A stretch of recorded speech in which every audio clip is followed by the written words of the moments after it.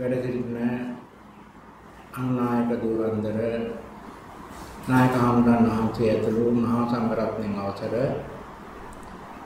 ශ්‍රද්ධාවන්ත පින්වතුනි ගලවිලවත්ත විපස්සනා භාවනා මධ්‍යස්ථානයේ මීට මාස දෙකකට පෙර අපි ආරම්භ කරපු ඒ භාවනා අනුශාසනාවන් අද බක්පෝයි දවසේ පවත්වන්න මේ යෙදිලා තියෙනවා. දැන් අපි පහුගිය පොයි දවසේ මැදින් පොයි දවසේ මතක් කරලා දුන්නා මේ භාවනාවකින් සිදුවෙන්නේ බුදුහාමුදුරුවෝ පෙන්නන චතුරාර්ය සත්‍යයේ හතරවෙනි ආර්ය සත්‍ය සම්පූර්ණ වීම. ඒ චතුරාර්ය සත්‍යයේ හතරවෙනි ආර්ය සත්‍ය වෙන්නේ මාර්ග සත්‍යයයි. නිවනට මාර්ගයයි. නිවන කියලා බුදුහාමුදුරුවෝ පෙන්නන්නේ සංසාර විමුක්තියයි. ඒතර සංසාර විමුක්තියට මාර්ගය ආරෂ්ඨාංග මාර්ගයේ වැඩිමයි කියලා අපි ඉගෙනගෙන තියෙනවා, දන්නවා, අහලා තියෙනවා. හැබැයි ආරෂ්ඨාංග මාර්ගය වැඩෙන්නේ කොහොමද කියන එක අපිට ගැටලු තියෙනවා. මොකද කවුරුත් විශ්වාස කරාට දැනගෙන හිටියට නිවන් මාර්ගයේ ආරෂ්ඨාංග මාර්ගයේ වැඩිම කිව්වට මේ අනිත්‍යාකාරව වැඩෙන්නේ කොහොමද කියන එක හරියට තේරුම් ගත්තේ නැත්නම් ධර්මානුකූලව අපි යන ගමන ඒ වගේම අඩුපාඩු සහිත වෙනවා. ඒ වගේම Tamanට නිශ්චිත ධර්ම මාර්ගය හොයාගන්න අපහසු වෙනවා. ඒක නිසා අපි ගිය පොයි දවසේ මේ ආරෂ්ඨාංග මාර්ගයේ අංග ගැන පැහැදිලි කිරීමක් කරා. මේ අංග 8ක් තියෙනවා. ඒ අංග 8 තමයි දිට්ඨි සංකප්ප වාචා කම්මන්තා ජීව වායාම සති සමාධි කියලා අපි පාඩම් කරගෙන ඉන්නේ දන්නේ ඔය අංග 8යි. මේ අංග නිකම්ම මේ මේ අංග ටික නම් කරලා නෑ ධර්මයේ. මේ අංග වල විශේෂත්වයක් තියෙනවා. මේ අංග නිර්මාණය වෙන්න. ඒ කියන්නේ දිට්ඨියක්, ඒකට අනුගත සංකල්පනාවක්, ඒ වගේ මේ සංකල්පනාවට අනුගත වාචා, කායික වාචික ක්‍රියා කියන එක. ඒ සංකල්පනාවට අනුගත කායික ක්‍රියා, කම්මන්තා ජීව, ඒ සංකල්පනාවට අනුගතව අලුතෙන් බිහි වෙන උත්සාහය, සංකල්පනාව එකඟකම කියන ඒවා මේවා නොනවත්තා ඇතිවීමේ ප්‍රතිඵලයක් විදිහට තමයි සංසාර නිර්මාණය සිදුවේ. එහෙනම් මේ අංගාටෙන් බුදුහාමුදුරුවෝ පෙන්නන්නේ මේ අංගාටෙන් සංසාරය හදනව හැම එහෙනම් මේ දිට්ඨි සංකප්ප වාචා කම්මන්තා ජීව වායාම සති සමාධි කියන මේවා තියෙන තාක්කල් අපි සංසාරය නිර්මාණය කරනවා. සංසාරය නිර්මාණය කරන අංගාට ඒ අංගාට බුදුහාමුදුරුවෝ බුද්ධත්වයෙන් අවබෝධ කරගත්තේ මේ සංසාරය හදන අංගාට වෙනස් කිරීම තුළ සකසා ගැනීම තුළ සකස් කිරීම තුළ සංසාර විමුක්තිය ලැබෙනවා. දැන් මේ ගැන දැනගන්න නැතුව අපි භාවනාවකින් වෙන්නේ මොකද්ද? සිල් රැකීමෙන් වෙන්නේ මොකද්ද? ඒ වගේම සමාධි ගුණයක තියෙන්නේ මොකද්ද? ඒ වටිනාකමක් තියද කියලා Tamanට තේරුම් ගන්න ඕ විග්‍රහ කරගන්න හැකියාවක් නැහැ. ඒක නිසා තමයි භාවනාවේ මම්මුලා වීම බොහෝ විට සිදු වෙන්නේ. දැන් මේ අංගකට ගැන දන්නේ නැතුව මේ අන්තර්ගතය දන්නේ නැතුව මේ අංගාටෙන් අපේ සංසාරයන් නිර්මාණය වෙනවා කියලා දන්නේ නැතුව භාවනා කරන්න ගියාම විවිධ දේවල් Tamanට හිතෙන හිතන දේවල් මේ භාවනාවේ ප්‍රතිඵල ආනිසංස විදිහට ගලපා ගන්න. මොකද ධර්මානුකූලව විග්‍රහයක් තමා නොදන්න නිසා. ඉතින් මේ දේ අත්හැර ගන්න අපි ධර්මයේ ඉගෙන ගන්න. ඒකයි චතුරාර්ය සත්‍ය ගැන ඉගෙන ගැනීම වැදගත්. හැබැයි චතුරාර්ය සත්‍ය ඉගෙන ගත්තට කවටවත් කිසිම දවසක කොච්චර ඉගෙන ගත්තා චතුරාර්ය සත්‍ය අවබෝධ වෙන්නේ නැහැ. ඒකත් දැනගන්න. ඒ කියන්නේ ධර්මයේ ඉගෙන ගත්තට ධර්මය අවබෝධ වෙන්නේ. දැන් හුඟක් අය හිතාගෙන ඉන්නවා වර්තමානයේ නම් ගා පිළිගැනීම ඊට විරුද්ධව පිළිගැනීම ධර්මයේ ඉගෙන ගත්තොත් ධර්මය අවබෝධ වෙනවා. එහෙම එකක් ධර්මයේ කියන්නේ මොකද ත්‍රිපිටකයේම ඉගෙන ගත්ත හාමුදුරුවෝට බුදුහාමුදුරුවෝ දොස් කියලාත් තියෙනවා වැඩක් නැහැ කියලාත් තියෙනවා. මොකද ඉගෙන ගත්තාට පළියට නිවන් දකින්න නැති නිසා. නමුත් ත්‍රිපිටකයේ ධර්මයේ ඉගෙන ගත්තේ නැති හාමුදුරුවෝ ඕන තරම් ජීව බුදුහාමුදුරන්ගේ ජීවමාන කාලේ රහතන් වහන්සේලාත් වෙලා තියෙනවා. ඒකට මේ දෙක අපිටත් පොදුයි. අපේ වැරදි මත ධර්ම අතීතයේ බුදුහාමුදුරන්ගේ ඉතිහාස කතාව ශාසන ඉතිහාසය ගැන හදාරලා අපි අපේ වැරදි හදන්නේ. එහෙනම් මේ ධර්මයේ ඉගෙන ගත්තට ධර්මය අවබෝධ වෙනවා කියන එක නෙමෙයි බුදුහාමුදුරු පෙන්වන්නේ. නිවන් දකින්න ඕන නම් ගිහියෝ පෙරි ශ්‍රාවකේ ආර්ය අෂ්ටාංග මාර්ගයේ වඩන්න. මේ ආර්ය අෂ්ටාංග මාර්ගයේ වඩන්න කියන එකයි දේශනාවේ තියෙන්නේ. උපදේශයේ තියෙන්නේ. එතකොට ආර්ය අෂ්ටාංග මාර්ගයේ අංග තියෙනවා 8ක්. මේ අංගාට වැඩි නැත්නම් මොකද වෙන්නේ අපිට කියන එක ඉස්සෙල්ලා දැනගන්න.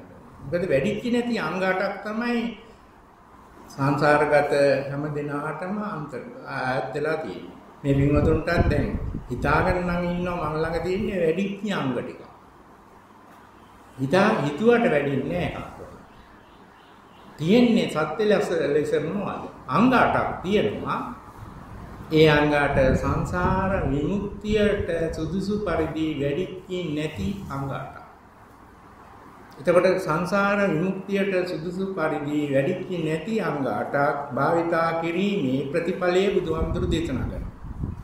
ප්‍රතිඵලය තමයි සංසාරයන් නිර්මාණය වීම. මේ සංසාරයේ ඉපදිලා නැවත මැරලා ආයෙ ඉපදෙන්න හේතු වෙන වැඩිච්ච නැති අංගාට. එහෙනම් සංසාර නිර්මාණය සිදු කරන්නේ මේ අංගාටමයි. එහෙමනම් දැන් බලන්න ඕනේ මේ අංගාට මම ගිය පොයේ පොයේ දවසේ මතක් කරලා දුන්නා. මේ අංගාට හැදෙනවා අපිට දොරටු 6කින්. දොරටු 6කින් හැදෙන්න පුළුවන්. ඒ කියන්නේ දිට්ඨි කියන්නේ දිට්ඨිය කියන එක දැන් අපි හිතාගෙන ඉන්නේ මේ මේ ධර්මයේ විතරක් අයිති දෙයක් කියලා. දිට්ඨිය කියන්නේ පාලි වචනයක්. සිංහලෙන් ගත්තම් දැක්ම. දැන් මේක ඇහැට රූපයක් පේන ඕනම අවස්ථාවක මේ හැම දිනාටමත් හැම මිනිස්යාටමත් අලුත් දැක්මක් ඇති වෙනවා. ඒක තමයි දිට්ඨිය කියන්නේ. මෙන්න මේ දැක්ම සංසාරයන් නිර්මාණය කරනවා. දැක්ම නිකන් තනියෙන් ඇති වෙන්නේ නැහැ. එයාට දැක්ම එක්ක එකට ඈලිච්ච තව අංග හතක් තියෙනවා. ඒවා තමයි සංකප්ප, වාචා, කම්මන්ත, ආජීව, ආයාම, සති, සමාධි කියන්නේ. දැන් එහෙමනම් දැන් මේ සංසාරයේ හදන අංගාට අපිට අයිති ඒකනේ. අපි බොරුවටනේ හිතාගෙන ඉන්නේ වැඩිච්ච අංගාටක් තියෙනවා කියලා. ඒ නොදැනුවත්කමින් කරන පිළිගැනීම. දැන් කොහොම හරි සත්‍ය ලෙස අපි හැමදෙනාටම තියෙනවා මේ බණාන කොටත් කනහරහා ඒගොල්ලන්ට මේ අංග 8ක් නම් හැදෙන. හැද මේ අංග 8ක් හැදුන්නේ නැත්නම් කනහරහා කණෙන් එන අරමුණ හරහා ඔය ඔයගොල්ලන්ට බණ ඇහෙන්න බෑ. එහෙනම් බණ ඇහෙනවා කියන එක තුල අන්තර්ගතය මොකද්ද? මේ අංග 8ක්. බණහන එක විතරක්ද මේ අංග 8ෙන් කෙරෙන්නේ නෑ. උපන්දා ඉඳලා කණෙන් අහපු සියලු සද්ද ඇහෙන තැන මේ අංගාට හැදිලා නැති වෙලා ගිහින් තියෙනවා. එහෙනම් මේ හැම තැනම අපි සංසාරයෙන් නිර්මාණය කරලා තියෙනවා. මේ සංසාර ස්වરૂපය තමයි අපිට අනාගතේ දුක් විඳින්න වෙන්නේ. එතකොට කනහරහා මේ දේ සිදු වෙනවා. ඇහැහරහා සිදු වෙනවා. ඇහෙනොත් මේ ආංගාට හැදෙන්න පුළුවන්. කොයි විලේද හැදෙන්න පුළුවන්? මොනවා හරි පේන වෙලාව. පේන්න විතරයි ඕන. එතකොට නාසය හරහා මේ අංගාට හැදෙනවා. ඒ හැදෙන්නේ මොකද්ද කියලා හඳුනා ගන්න තියෙන ලක්ෂණය මොකක්ද? ගඳ සුවඳ තේරෙන තැන තියෙන්නේ මේ අංගාට තමයි. නැත්නම් ගඳ සුවඳ තේරෙන්න බෑ අපිට. එතකොට මොනවා හරි අනුභව කරනකොට රස දැනෙන වෙලාවේ තියෙන්නේ මොනවද? මේ අංගාට තමයි දිට්ඨි සංකප්ප වාචා කම්මන්ත ආදී වාදී අංගාටයි. දැන් එතකොට කයට ඔය ස්පර්ශයක් තේරෙන වෙලාවේ ඒ තියෙන්නේ මේ අංගාටමයි. ඒ වගේම ඔයගොල්ලන්ට මොනවා හරි මතක් වෙන වෙලාව 아무තු දෙයක් නැහැ කියනවා. තියෙන්නේ මේ අංගාට තමයි. එහෙමනම් දැන් මේ පැහැදිලි කරන ditthi සංකප්පාදී අංගාට අපිට නිර්මාණය වෙන පහළ වෙන අවස්ථා තියෙනවා හය ආකාරයකින්. ඒවට කියනවා උප්පත්ති ඉන්ද්‍රිය. චක්කු සෝත ගාන ජීවා කාය මන. හැබැයි මේ ඉන්ද්‍රිය ත්‍රිමුණි පළියට මේ අංගකට ඇති වෙන්නේ. දැන් මේ විමුතුන්ට නිින්ද ගියාම ඇහැ කන නාසය දිවකය මනස කියන උපති ඉන්ද්‍රිය හයෙන්ම මේ අංගට හදන්නේ. ඒක හින්දා තමයි ගොඩාක් අය බන මඩු වල නිදා ගන්න. ඉතින් නිින්ද ගියාම මේ අංගාට හදන්නේ නැහැ. තේරුණානේ? ඔහේ හැරි නිින්ද ගියාම හදන්නේ නැහැ. සිහි නැති වුණාම හදන්නේ නැහැ. දැන් එහෙමනම් සී කල්පනාවෙන් හිටියා කියන්නේ මොකක්ද අපි කරනවද? සංසාරයන් නිර්මාණය කරනවා. මොකකින්ද නිර්මාණය කරන්නේ? මේ අංගාට. තේරුණානේ? මේ ගැන දැනුවත් වෙන්න ඕනේ. ඉතින් භාවනාවේ ගුණයක් දකින්න නම් භාවනාව කියන්නේ මෙන්න මේ වගේ දෙයක් කියලා තේරුම් ගන්න නම් බොරුවට භාවනාවෙන් විවිධ ඔය ආනිසංස බොරු ආනිසංස වලට රැවටෙන්නේ නැතුව ඉස්සරහට යන්න ඕන නම් අපි ධර්මානුකූලව ඉගෙන ගන්න ඕනේ මේ අංග 8යි භාවනාවයි අතර තියෙන සම්බන්ධය.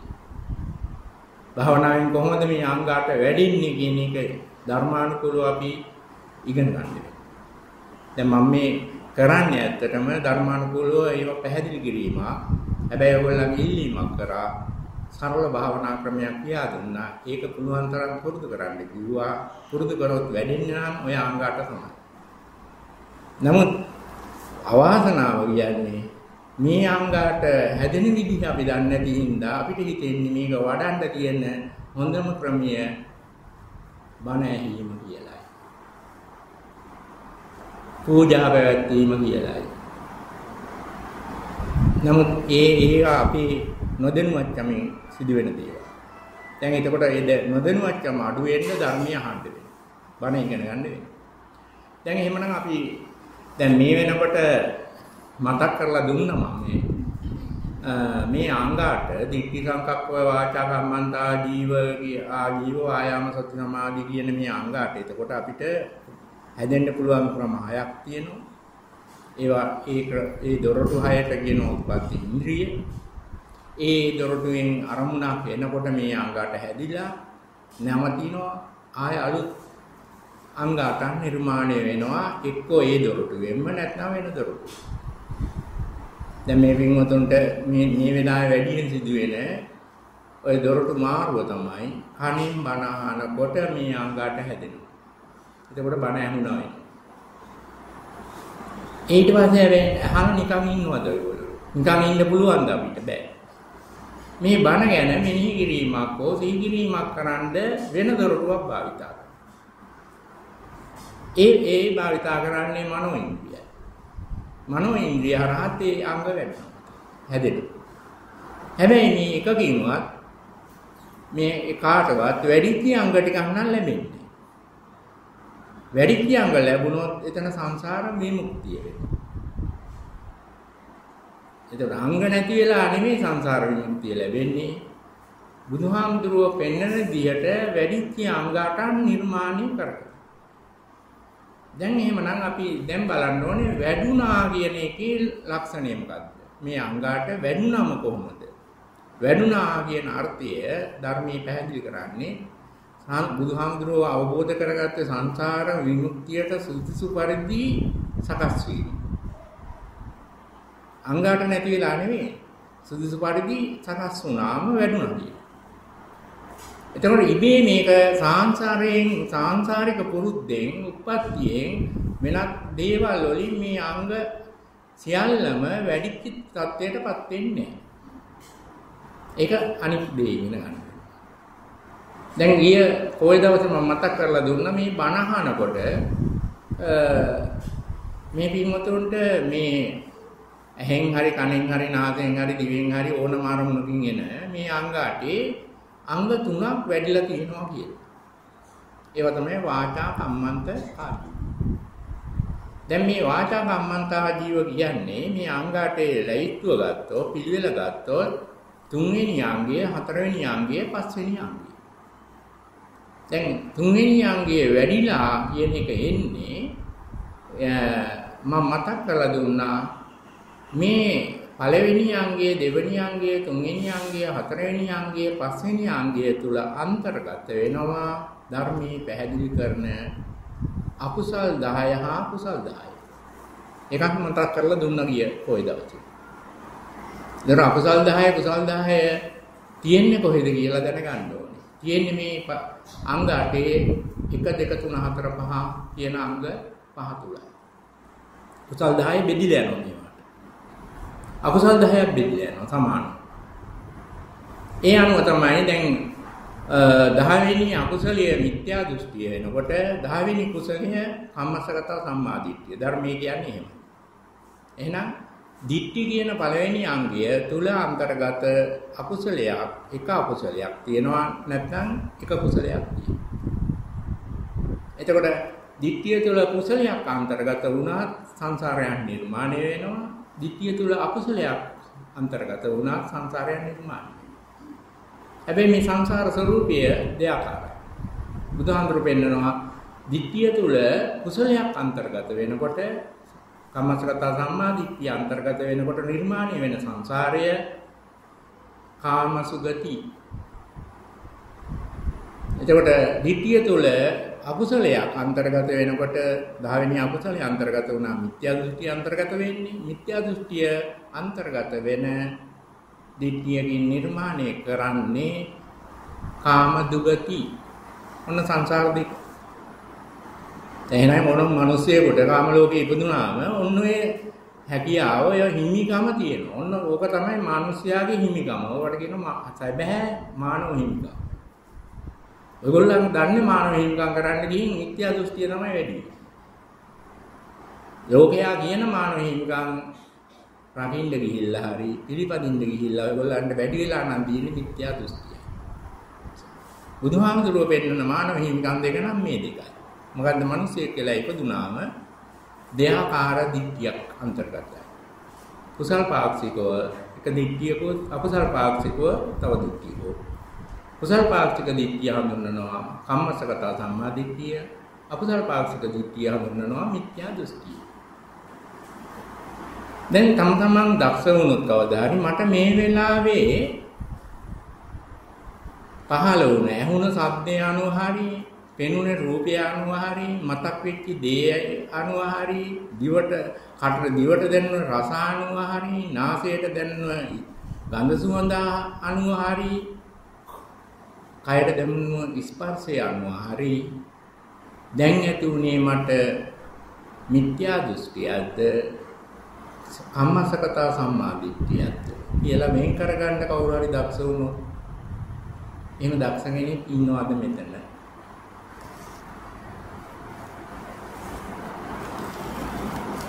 ඉකාරමුණක දැන් පහළ වෙන දිට්ඨිය මෙන්න මේකයි.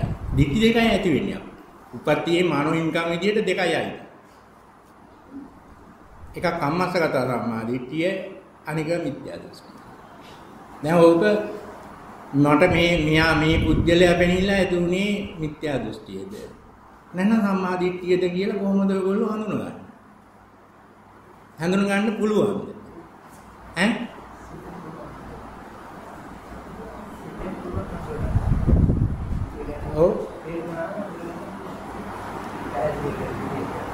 තේරුමක් පුළුවන් කියලා මම කියන්නේ නේද ආ තේරුමක් පුළුවන් වෙනවා නම් ඔන්න ඔයගොල්ලෝ හොයනවා නේද ආරෂ්ඨාංග මාර්ගයේ වැඩිච්ච පුජ්‍යලයන්ට බුදුහාමුදුරුවෝ වෙන දැන් පෙන්නන නම තමයි ආර්ය. ආර්ය කියන්නේ ආරෂ්ඨාංග මාර්ගයේ එක සැරයක් හරි වැඩිච්ච අය. තේරුණානේ? වැඩුණා කියන්නේ මොකද්ද? නිවන් දකින්න සුදුසු තත්ත්වයට හැම අංගයක්ම පත් වෙනා මොහොතක් හරි. එතන මොහොතක් මේ தත්ත්වයටපත් වෙච්ච කෙනා සෝහාන් වෙච්ච පුජ්‍යලයයි. සෝහාන් ආර්ය පුජ්‍යලයයි. තේරුණානේ? ඒක හුඟක් කල් පවතින ඊට වැඩිය එහා පවතින කෙනෙක් තමයි අනාගාමී. සෝවාන් කෙනාට වැඩිය ජීවිත කාලයේ මේ අංග 8 වැඩිච්ච ස්වરૂපයේ තියෙන. සකදාගාමි. අනාගාමි වෙනකොට ඊටත් වැඩි වෙනවා. රහතන් වහන්සේ වෙනකොට සම්පූර්ණ වැඩිච්ච කෙනෙක් වෙනවා. එතකොට ඒකේ ලක්ෂණේ කියන්නම් මං දැන් ඔයගොල්ලෝ ළඟ තියනවා කියලා හිතාගෙන ඉන්න හිඳයි මම මේ කියන්නේ. ධර්මයේ දන්නේ නැතුව තම තමන් හදාගෙන ඉන්න මල් ළඟ තියෙනවා මේ ගුණය. කාගේ ගුණද එතකොට තමන් ළඟ තියෙනවා කියලා හිතන්නේ. රහතන් වහන්සේගේ ගුණ. දැන් මේ අංගයට වැඩිලා සෝවාන් වෙච්ච පුද්ගලයා නෙමෙයි අනාගාමී වෙච්ච පුද්ගලයා නෙමෙයි අරිහත් ත්වයටපත් වෙච්ච රහතන් වහන්සේ තුල එක දිට්ඨියක් අහිමි වෙනවා. මොකක්ද අහිමි වෙන දිට්ඨිය? මිත්‍යා දෘෂ්ටි. තේරුණාද?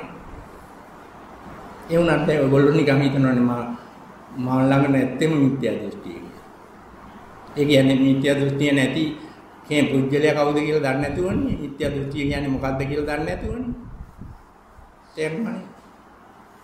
දැන් මිත්‍යා දෘෂ්ටිය මල් ළඟ නැහැ කියලා විශ්වාස කරගෙන කටයුතු කරනවා. එහෙම ඉඳලා බණ අහනවා. මේ බණ මඩුවේ බණ අහනකොටම පිටිපස්සේ ඉන්නේ වාඩි වෙලා ඉන්න මිනිස්සයා වැරදිලා කකුල තමන්ගේ කොන්දේ වැදුනම ඇති වෙන්නේ නැහැ හැබැයි මිත්‍යා දෘෂ්ටිය. තේරුණා? ඒ වුණාට රඟපහන්න යන්නේ කොහොමද? මගේ ජීවිතේට මිත්‍යා දෘෂ්ටිය නෑ මග. අපේ පරම්පරාවේ නෑ. ඒ කියන්නේ ඒ කියන මිත්‍යා දෘෂ්ටිය බුදුහාමුදුරු පෙන්වන ධර්මයේ තියෙන එකක්ද තමයි හදාගත්තේ එක. ආ තමයි හදාගත්තේ බොරුව. තේරුණාද? එහෙමනම් දැන් මෙන්න මෙහෙම දෙයක් තියෙනවා. හරියට මේ දිට්ටි දෙක එක එක අරමුණේ ඒ වෙලාවේ ඒ ඇති වෙන මොහොතේ ඊයේ ඇති වෙච්ච එක අද තේරුම් ගැනීම නෙමෙයි. අතීතයේ ඇති වෙච්ච එක වර්තමානයේ තේරුම් ගැනීම නෙමෙයි. වර්තමානයේ ඇති වෙච්ච එක අනාගතයේ තේරුම් ගැනීම නෙමෙයි. වර්තමානයේ ඇති වෙන මේ දික්කියේ ස්වરૂපය වර්තමානයේ තේරුම් ගත්තේ තැන තියෙන්නේ ලෝකෝත්තර සම්මාදිට්ඨිය. තේරුණාද? එහෙමයි ධර්මයේ නම් තියෙන්නේ. ඒක හින්දා ඔයගොල්ලෝ නිකන් මල් ළඟ තියෙනවා කියලා මම අපා ගන්න එපා. මොකද පුහුණුවකින් ලැබිය යුතු ඵලයක් ගැනයි මේ කියන්නේ. තේරුණාද? ඒක නිසා මේ සරිත්හාමුදුරුවෝ සම්මාදිට්ඨිය දටි සම්මාදිට්ඨි ලාභියේගේ ලක්ෂණ කියනවා. සම්මාදිට්ඨි සූත්‍රය කියලා එකට නම් කරලා තියෙනවා. ඒ සූත්‍රයේ තියෙනවා 20 20 ආකාරය. සම්මාදිට්ඨි ලාභියේගේ ලක්ෂණ මුල්ම ආකාරයේ තියෙන ඔන්න ඔය ස්වરૂපය. ඒ ඇති වෙන අරමුණේ මේ දිට්ඨි දෙක වෙන් කරන්න පුළුවන්. තේරුණානේ? දැන් ඔන්න කතාවක් මම කිව්වා. මං කියන එකේ තේරුම ඔයගොල්ලෝ බොරුවට මන් ළඟ මිත්‍යා දෘෂ්ටිය නෑ කියන්න එපා. මොකද තියෙනවා ඒක. තේරුණානේ? ඒක නැති කරන එක තමයි මේ සීල සමාධි ප්‍රඥාව වලින් කරන්නේ. එතකොට දැනුත් නැති එක මොකද්ද නැති කරන්න තව මහන්සි. එතන මුලාවක් වෙනවා. ඒකෙන් හැමෝම අමාරු වෙනවා. දැන් ඔයගොල්ලන්ට ඒ මිත්‍යා දෘෂ්ටියනේ අහක් කරන්න කියන්නේ බුදුහාමුදුරුවෝ සම්මාදිට්ඨිය අහක් කරන්න කියන්නේ. මිත්‍යා දෘෂ්ටිය සම්පූර්ණයෙන් අහක් වෙච්ච තැනක සංසාර විමුක්තිය තියෙනවා. එහෙනම් මිත්‍යා දෘෂ්ටිය අහක් කිරීම තමයි මේ කියන ආර්ය ශ්‍රාංග මාර්ගයේ වැඩෙනවා කියන එක ඒක අර්ථකථනය. කවුරු හරි කියනවා නම් උත්තරයක් විදිහට ආර්ය ශ්‍රාංග මාර්ගයේ වැඩිවීමෙන් බලාපොරොත්තු වෙන්නේ මොකක්ද? තනි උත්තරයක් දෙන්න පුළුවන් මිත්‍යා දෘෂ්ටිය නැති කිරීමයි කියලා. ඒක වැරද්දක් නෑ. කවදාම මිත්‍යා දෘෂ්ටිය නැති වෙන දැනට ගියේ පුජ්‍යලයට කියනවා ආතන් වහන්සේ. ඒ ඉතින් රහත් වෙන එක නෙමෙයි අරස්ඨාංග මාර්ගයේ වැඩිවීමෙන් අවසාන ඵලයි. එහෙනම් සෝවාන් වෙනවා කියන්නේ. දැන් සෝවාන් වෙච්ච පුජ්‍යලයට මිත්‍යා දෘෂ්ටිය ඇති වෙන්නේ නැද්ද?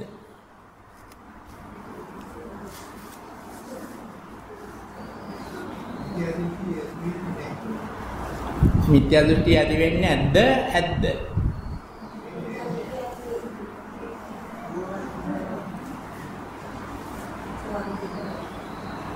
මෙතනත් ඇතිනේ ඉතින් එහෙම සෑහෙන සංඛ්‍යාවක් තමන්ම හිතාගෙන ඉන්න අය ඇතිනේ මං සෝවාන් කියලා. මොකද ඒකත් ditthිගත ස්වરૂපය. ඕන දෙයක් අපිට හිතන්න පුළුවන් මිනිස්සෙක් ඉතින් මානව හිමිකම් ඕක.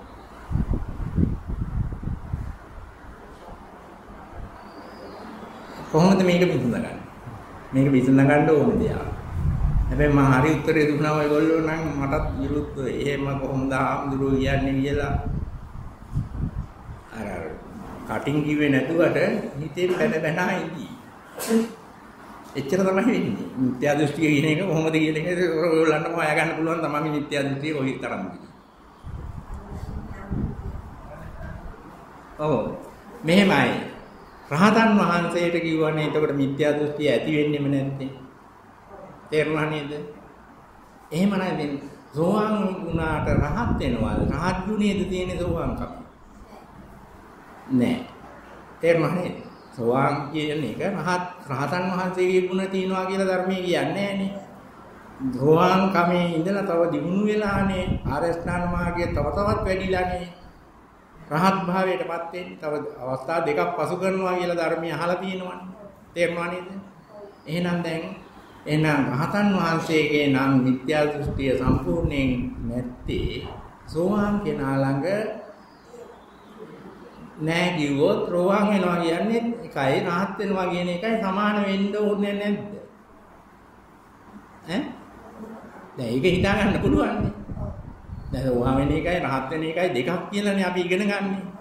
ආ එහෙමනම් ඉතින් දෙකක්ම විය යුතුයි. රහතන් වහන්සේගේ තමයි මිත්‍යා දෘෂ්ටිය ඇති වෙන්නේ නැත්තේ. තේරුණා නේද? එහෙනම් සෝවාන් කෙනාට ඇති වෙන්නේ නැත්තේ කියන එක වළංගු වෙන්න බෑ. තේරුණා නේද? දැන් ඔයගොල්ලෝ කියන්නේ නම් අහලා තියෙන්නේ පතපොතේ කියවලා තියෙන්නේ බණ අහලා තියෙන්නේ මන පොත්වල තියෙන්නේ වැරදි කතාවක් නෙවෙයි ඉගෙන ගත්ත එක වැරදි නෑ. අපි අහලා තියෙන්නේ කොහොමද? සෝවාන් කෙනාට මිත්‍යා දෘෂ්ටියක් නෑ කියලා. තේරුණා නේද? නමුත් ඒ ඒ ගැඹුරු පැහැදිලි කිරීමක් එතන තියෙන්නේ. අපි ඒක තේරුම් අරගෙන මෙයන් ඉස්සරහට නැත්නම් ඔයගොල්ලෝ රඟපාන එක නවත්තන්නේ නැහැ. මොකද භාවනා කරන්න ගිහින් ඊට පස්සේ අලුත් නළු නිලි පිරිසක් බිහි වෙන එක තමයි වෙන්නේ මේ ලංකාවේ වෙලා තියෙන්නේ. තේරුණා නේද? 아무තු නළු නිලි පිරිස. ඒ ඒගොල්ලෝ බිහි වෙන්නේ හැබැයි වයස වැඩි වෙනවා. ඒ නළු නිලි භාවනාවේ නළු නිලි බිහි වෙන්නේ 60 පැන්නවා. තේරුණා? දැන් සාමාන්‍ය නළු නිලි ඉන්න හැමදාම ඊට අඩු අය 60ට මෙහා.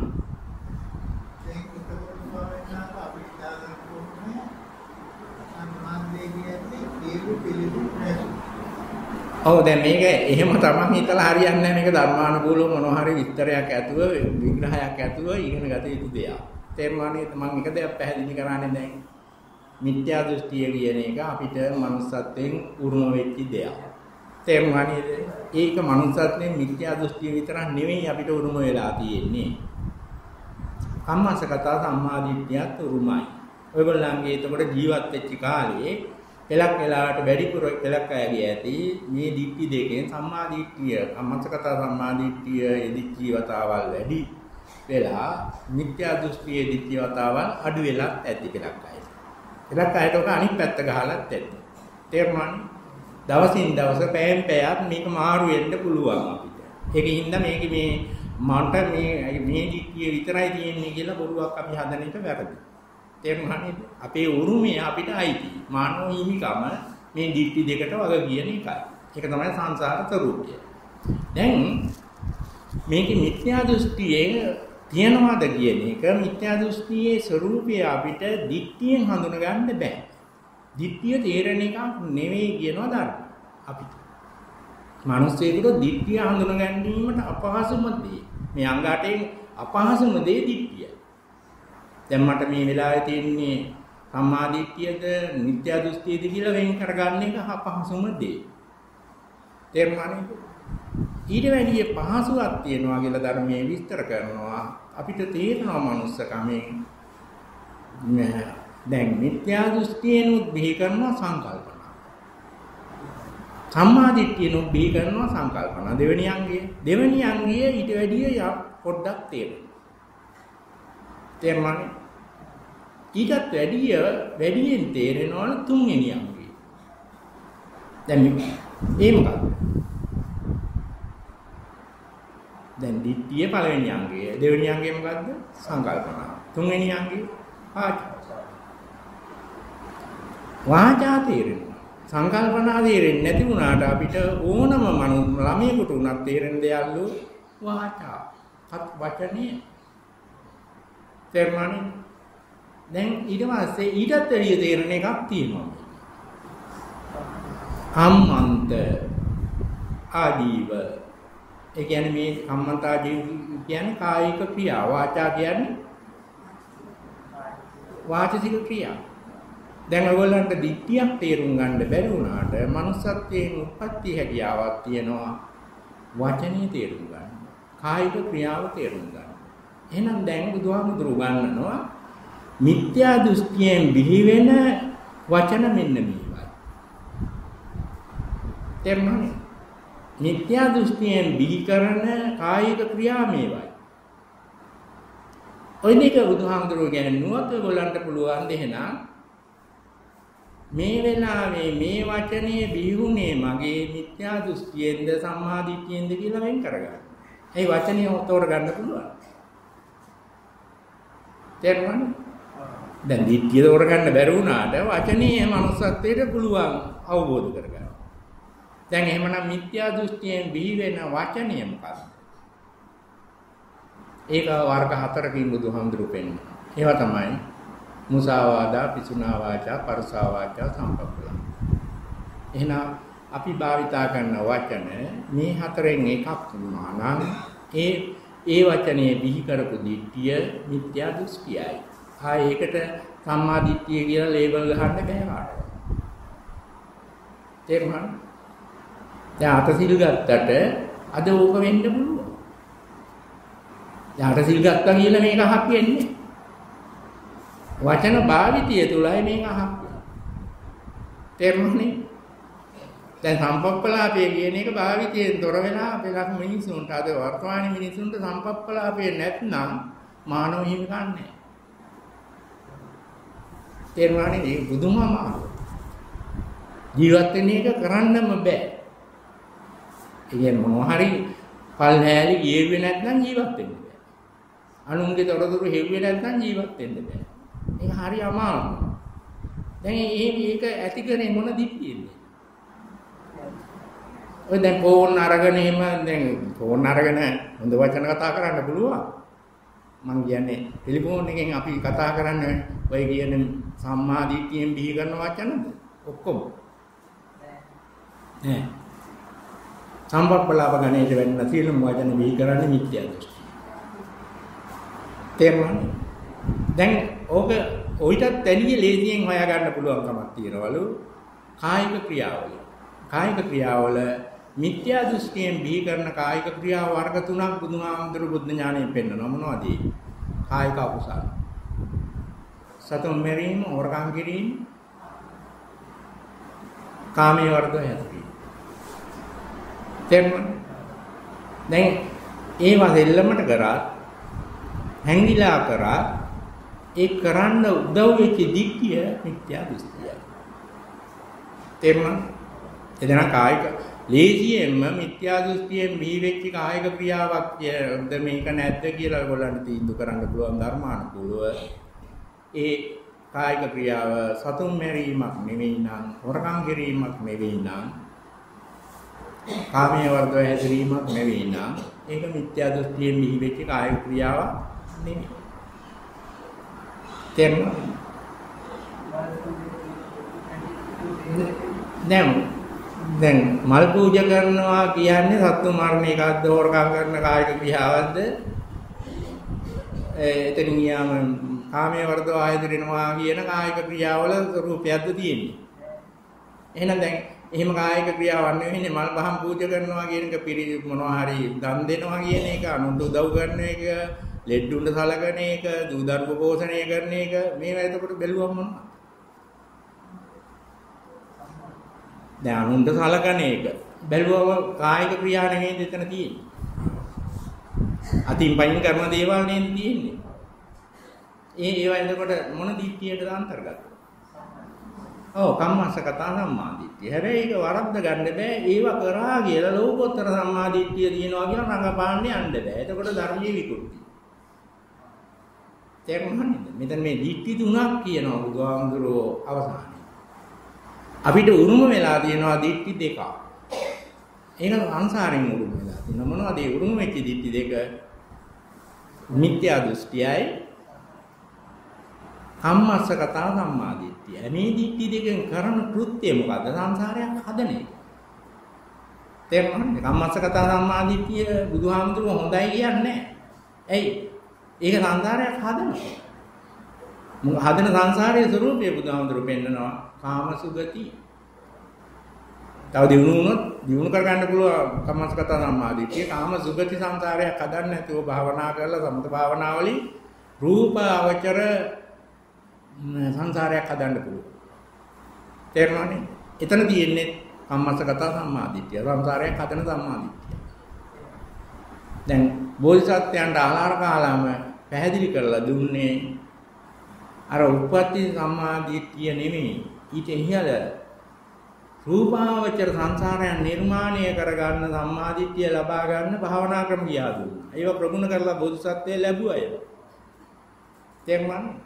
ඔයගොල්ලෝ දැන් බුදුගුණ භාවනාව, මෛත්‍රී භාවනාව වඩන වෙලාවක හරියට කෙරෙනවා නම් ඒක බොරුවට කරනවා නම් මොන මොන මිත්‍යා දෘෂ්ටිය තියෙන්න පුළුවන්. තේරුණානේ? දැන් හරියට කරපු වෙලාවක දිට්ඨියේ පරිවර්තනයක් වෙනවා. ඒ දිට්ඨි පරිවර්තනයේ ලෝකෝත්තර සම්මා දිට්ඨිය වෙනව නෙමෙයි. අම්මස කතා සම්මා දිට්ඨියේ පැතිමාරු වෙනවා. කාමාවචර ස්වરૂපයේ ඉක්මවලා රූපාවචර ස්වરૂපයට ගන්නවා. ඔන්න ඕක තමයි භාවනාවේ සමත භාවනාවෙන් සිදුවේ. තේරුණානේ? නමුත් බුදුහාමුදුරුවෝ පෙන්නන සතිපට්ඨාන භාවනාවක් වැඩුවම වෙන්නේ එහෙම එකක් නෙමෙයි. ඔන්න ඔය වැරදිලා දෙරින් නැතුව තමයි ওই භාවනාවෙන් බොරුවට රඟපාන්නේ කට්ටිය. දැන් සතිපට්ඨාන භාවනාවක් වැඩුවොත් ඒ භාවනාව කරන්න පටන් ගන්න වෙලාවේ තියෙන යාට මිත්‍යා දෘෂ්ටියක්ද කම්මස්සගත සම්මාදිට්ඨියද? ඈ? ඔව් කම්මස්සගත සම්මාදිට්ඨිය. සංසාරයක් හදන සම්මාදිට්ඨිය. හොඳ සංසාරයක් හදන දිට්ඨිය. තේරුණානේ? ඒක හැරෙනවා සංසාරයක් හදන්න නැති සම්මාදිට්ඨියක් බවට. දැන් සංසාරයක් හදන සම්මාදිට්ඨියක ස්වરૂප තියෙනවා ආකාර තුනක්. ඒ ආකාර තුන තමයි කාමාවචර මට්ටමේ සම්මාදිට්ඨිය ඒක කාම සුගති සංසාරයක් හදනවා. තේරුණානේ? දැන් ඒක ඔයගොල්ලන්ට උරුමයි. ඔයගොල්ලන්ට තියෙන දෙයක් ඒක. ඔයගොල්ලෝ පුහුණු කරන එකක් ඒක. ඒක ලැබෙන තියෙන තැන් මං කියන්නේ. ධර්මානුකූලව මල් පහන් පූජා කරන තැන, දන් දන් පැන්දේ පූජා කරන තැන, වැඩි හිටියන්ට සලකන තැන, දූ දරුවෝ මෛත්‍රී කරුණාවෙන් පෝෂණය කරන තැන, ඥාතීන්ට සංග්‍රහ කරන තැන ඔය හැම තැනම තියෙනවා ආමාවචර මට්ටමේ සම්මාදිට්ඨිය. තේරුණානේ? ඒ කියන්නේ ආමාවචර කුසලයේ තියෙන්නේ එතනයි. නමුත් ඒකේ ඒක බුදුහාමුදුරුවෝ පෙන්වන්නේ සංසාර විමුක්තියද? නෑ. තේරුණා නේද? දැන් ඒක වැඩක් නෑ කියලා තමයි බෝධිසත්වයෝ ආලාර කාලාම වගේ අර අධ්‍යාත්මික පුහුණුවක් තියෙන ගුරුවරු හොයාගෙන ගියේ. ආලාර කාලාම උද්දකාරාම පුත්‍ර පෙන්වෝයිට වැඩිය කාමාවචර මට්ටමේ සම්මාදිට්ඨියට වැඩිය මොන සම්මාදිට්ඨියක් තියෙනවා. ඒක සංසාරයක් හදන්නේ කියලා ඒගොල්ලෝ කිව්වා. තේරුණා නේද? ඒගොල්ලෝ අවබෝධ කරගෙන තියෙන්නේ එතන සංසාරයක් හදන්නේ නැති දිට්ඨියක් කියලා. ඒක තමයි ධර්මයේ හඳුන්වන්නේ රූපාවචර මට්ටමේ සම්මාදිට්ඨිය. තේරුණා? දැන් ඒකෙන් හදන්නේ සංසාරයක් ඒක හැබැයි සීමා වෙනවා කාම ලෝකයේ සංසාරයක් හදන්නේ. කාම සුගතිය හදන්නේ හදන්නේ මොකක්ද? කාමාවචරේ ඉක්මෝපු රූපාවචර සත්ව ස්වરૂපය. දැන් තේරුණාද මේ දෙකේ වෙනසක් තියෙනවද? දැන් ආනාර කාලාම බෝධිසත්වයන්ට කියනවා ඊටත් වැඩි ඉහළ දිට්ඨිය. ඒක සම්මාදිට්ඨිය. ඒ ඉහළ දිට්ඨියෙන් කරන්නේ මොකද්ද? කාමාවචර මට්ටමේ සංසාරයක් හදන්නෙත් නැහැ. රූපාවචර මට්ටමේ සංසාරයක් හදන්නෙත් නැහැ. නමුත් සංසාර විමුක්තිය වෙන්නේ. හදනවා සංසාරයක්. ඒකට තියෙනවා අරූපාවචර මට්ටමේ සංසාරය. එහෙනම් දැන් අපිට අයිති උප්පත්තියෙන් අයිති සම්මාදිට්ඨිය, කම්මස්සගත සම්මාදිට්ඨිය ඕනම මිනිසෙකුට පුහුණු වෙලා ලබා ගන්න පුළුවන් තුන් ආකාරයක් තියෙනවා. තේරුණානේ? ඒකෙන් එක ආකාරයක් ඔයගොල්ලෝ ඔයගොල්ලන්ගේ දෙමව්පියෝ, වැඩිහිටියෝ, පන්සලේ ආමුදුරු මේ කියන ආගමික ස්වરૂප වලින් හා සදාචාරය ඔය ඕන මේකින් ඔයගොල්ලෝ එකක් භාවිතා කරමින් ජීවත් වෙනවා. තේරුණානේ? ඒක තමයි සම්මාදිට්ඨියේ කාමාවචර මට්ටම. දැන් ඔය කෙටි කරලා බුදුහාමුදුරු දේශනා කරලා තියෙනවා. ඔයගොල්ලෝ ඒක නිකන් ඒකත් කරන්නේ මිත්‍යා දෘෂ්ටියෙන්. ඒකයි මම මේ කියා දෙන්න ඕනේ. බුදුහාමුදුරු දේශනා කරන ඕනේ අම්මස්සගත සම්මාදිට්ඨිය. කාමාවචර මට්ටමේ තියෙන මූලික ස්වરૂප ටික එකට එක්කව කරලා බුදුහාමුදුරු දේශනා කරනවා මංගල සූත්‍රයේ මංගල කරුණු ටික. මංගල සූත්‍රයේ තියෙන මංගල කාරණා කියන්නේ මොනවද කියලා. and ඒ කාරණාවල තියෙන්නේ ඔන්න ඒක අම්මසගත සම්මාදිට්ඨියෙන් දෛනිකව මිනිස්සු කරන සිදු කිරීම ටික. මිත්‍යා දෘෂ්ටි භාවිතා නොකර භාවිතා කරන ස්වરૂපය. තේරුණානේ? දැන් ඒවා ඔයගොල්ලෝ කරනවා දැනගෙන හරි නොදැනගෙන හරි කරනවා. ඉතින් ඒ ගැන සතුටු වෙන්න. තේරුණානේ? පළක් අය නම් ඉතින් මංගල සූත්‍රයේ දිව්‍ය සතුටු කරන්න කියලා වංචනික ලෙස කරනවා. එතකොට නම් තියෙන මිත්‍යා දෘෂ්ටිය. මොකද දිව්‍ය අහන්න කැමති දේ අහන්න දුන්නම අර හිතේ මේ මේ කාර්යාලයේ ඉන්න මේ මේ මුරකාරයට කප්පන් ගෙවුවා වැඩේ ලීසි කියලා වගේ. දැන් ඒකම පුරුදු වෙලා පුරුදු වෙලා හැට පැන්නොත් එimhe කොහොමද වෙන්නේ? ඒ පුරුද්ද යනවා ධර්මයට. දෙවියෝ සතුටු වුණොත් නිවන් දකින්න ලේසි. ඒක දැන් හොයා ගන්න ඕනේ ප්‍රශ්නේ නිවන් දකින්න ක්‍රමයක් නෙමෙයි මොකද්ද ඕනේ? ඒක එයි එහෙම එකක් එයාට පුරුදු වුණේ. ජීවත් වෙච්ච චර්යාව. හැමදාම එක එකාට කප්පන් දීලා දීලා හොරට වැඩ ගත්තා. තේරුණාද? ඒ කියන්නේ ඒකම කරලා කරලා කරලා කරලා කරලා වයසට යනවා. ඊට පස්සේ හිතෙනවා නිවන් දකින්නත් ඕනේ කාට කප්පන් දැන් මිනිසයන්ට කප්පන් දීලා නිවන් දකින්න බෑනේ. දෙයියන්ට කප්පන් දෙන්නම හරියයි කියලා විශ්වාසයක් ඇති ඒ වගේ මුලාවකටපත් වෙනවා මොකද පෙර වැරදි හින්දා. නිකම් මුලාවකටපත් වෙන්නේ මේ සංසාරයේ හැටියෝ. එතකොට දෙවියන් සතුටු වෙන ක්‍රමයක් එව්වම ඔන්න අහුවෙනවා අර සූත්‍රවල පිරිත් පොතේ තියෙනවා දෙවියෝ කැමති වෙන සූත්‍ර කියලා යාතිය. ඒක බෙලෙක් කණින් උදේ හවස කියවනවා මොකටද මේ දෙවියෝ සතුටු කරන්නේ? නමුත් බුදුහාමුදුරන් නම් දෙවියෝ සතුටු කරන්න මොන සූත්‍රයක්වත් දේශනා කළා නෑ. තේරුණා නේද? මංගල සූත්‍රයේ තියෙන්නේ ඔයගොල්ලන්ගේ මිත්‍යා දෘෂ්ටියෙන් වැඩ ගන්න නැතුව, උපත්යෙන් මිත්‍යා දෘෂ්ටියේ වැඩ නැතුව, කම්මසගත සම්මාදිට්ඨියෙන් වැඩියෙන් වැඩ ගන්න කරුණු ටික තමයි මංගල කර්ම. තේරුණා නේද? අර වගේ මුලාවල් නැතුව හොඳින් ජීවත් වුණා නම් ඒ ටික Tamanට ජීවිතයේ අත්දැකීම් තියෙන ඉතුරුවක් තියෙන දෙයක් වෙනවා. තේරුණානේ? දැන් අපි තව එහාට ගන්න ඕනේ සංසාරයක් හදන්න නැති දිට්ඨියක් අවබෝධ කරගත්තේ බෝසත්ත්වය බුද්ධත්වයෙන් පස්සේ. ඒකට කියනවා ලෝකෝත්තර සම්මාදිට්ඨිය. එහෙනම් විපස්සනා භාවනාවක් වැඩුවම අපිට අපි ළඟ තියෙන කම්මස්සගත සම්මාදිට්ඨිය වර්ධනය වෙලා සංසාරයක් හදන්න නැති සම්මාදිට්ඨියකට මුලින්මපත් වෙන මොහොත තමයි සෝවාන් වෙනවා කියන්නේ.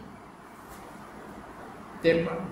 සෝවාන් වෙන මොහොතේ නම් සංසාරයක් හදන්න නැති දිට්ඨිය පළවෙනි වතාවට ඒ පුද්ගලයාට ශ්‍රාවකයාට ලැබුණා.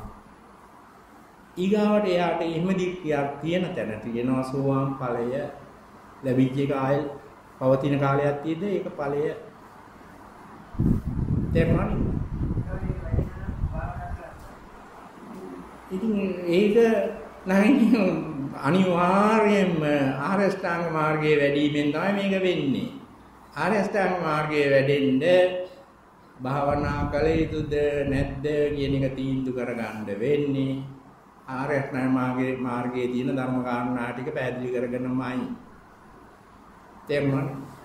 එලක්ක හැන්නේ දැන් වර්තමානයේ සෝවාන් වෙලා දිනන බණ අහලා. කරනවා.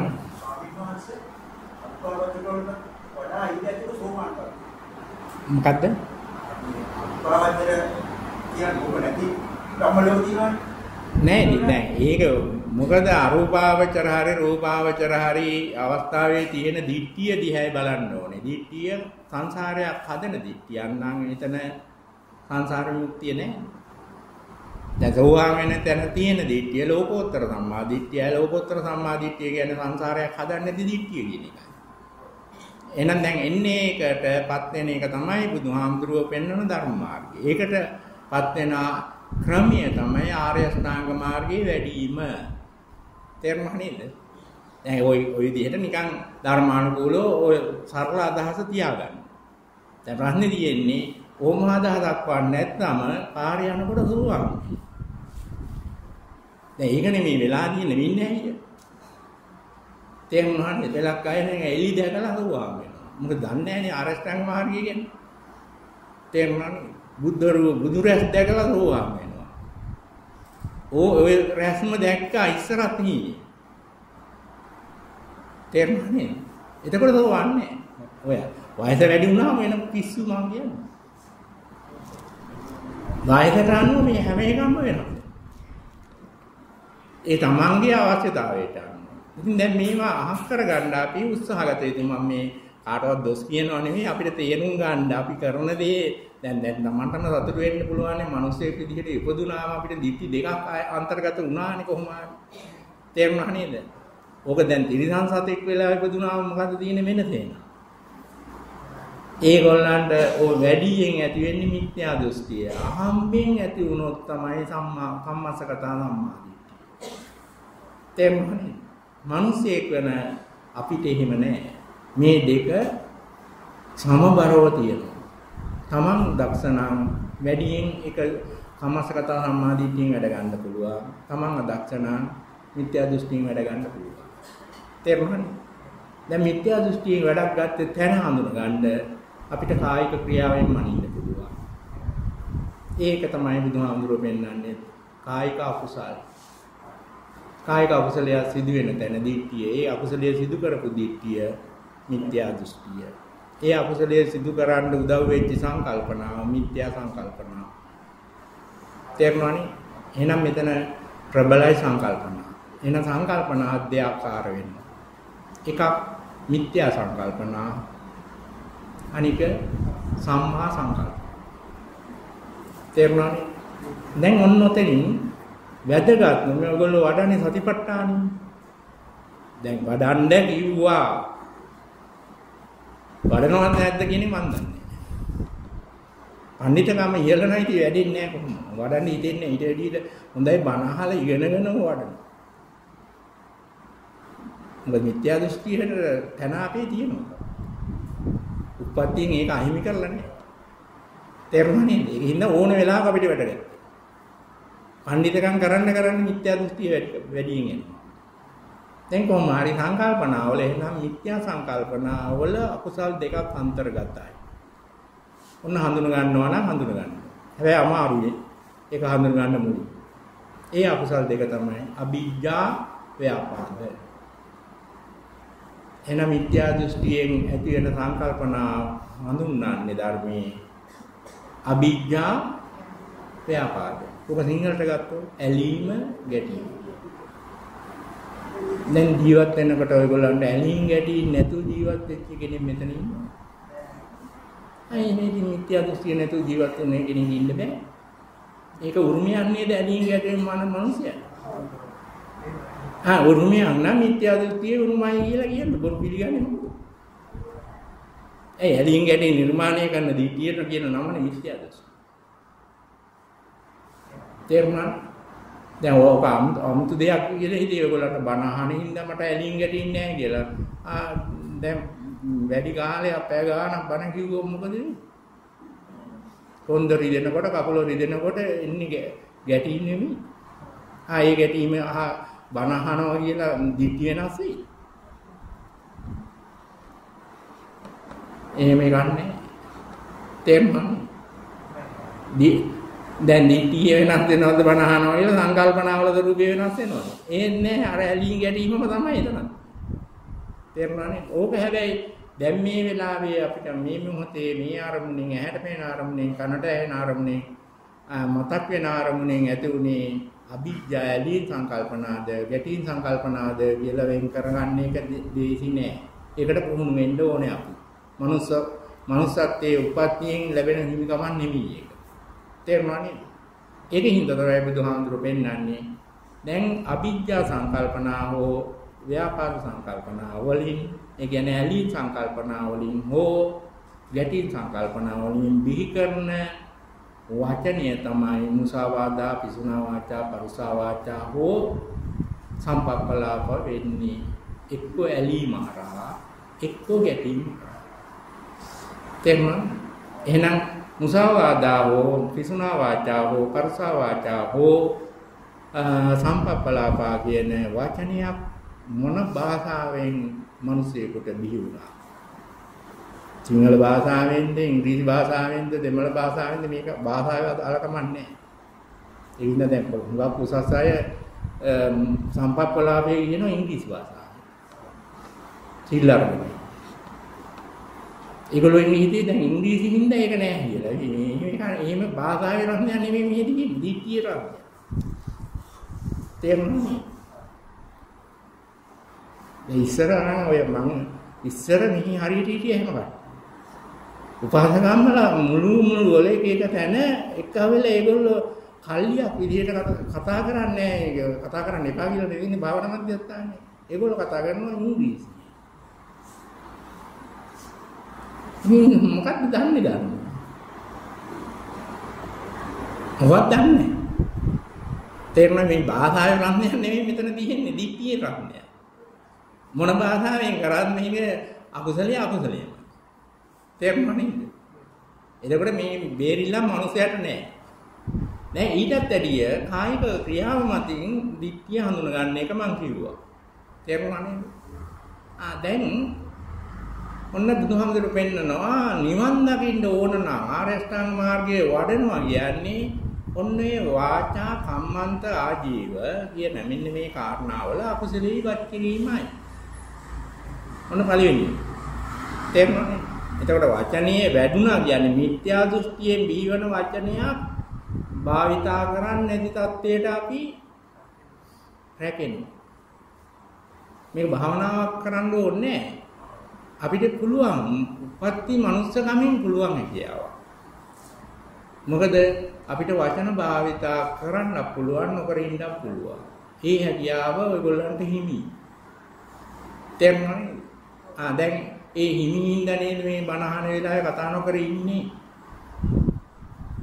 දැන් මිනිස්යාන්ට කතා නොකර ඉන්න බැරි නම් මොකද වෙන්නේ මේ බණ මඩුවේ? බණ යුණා වගේ බණ පටන් ගන්න පෙර වගේ දැන් එහෙම එකක් නැහැ නේද? දැන් ওই හැකියාව ඔය ඉන්නකන ඉන්න හැට තියෙනව නේද එහෙනම් කතා නොකර ඉීමේ හැකියාව?